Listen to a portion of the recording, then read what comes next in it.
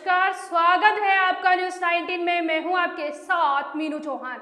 आइए नज़र डालते हैं इस वक्त की कुछ खास खबरों पर।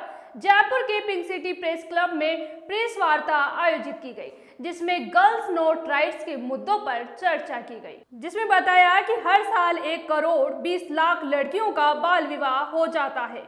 साथ ही जनगणना के अनुसार राजस्थान में बाल विवाह की दर 32 प्रतिशत से अधिक बाल विवाह के रूप में सामने आई है।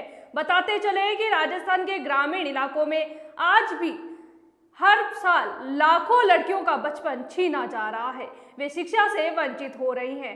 गर्ल्स नॉट ब्राइट जो राजस्थान की संस्थाओं का एक संगठन है और ग्लोबल एक संगठन भी है गर्ल्स नॉट ब्राइट, उसी का हिस्सा भी हैं हम लोग।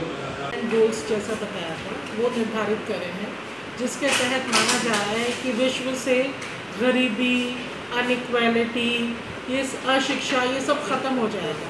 इस पर विस्तृत चर्चा हमने साढ़े तीन घंटे कल की जिसमें यूएन एजेंसी के थे अंतर्राष्ट्रीय संस्थाओं के लोग भी थे। जयपुर से न्यूज़ 19 की हमारी संवाददाता नीना वर्मा की एक रिपोर्ट।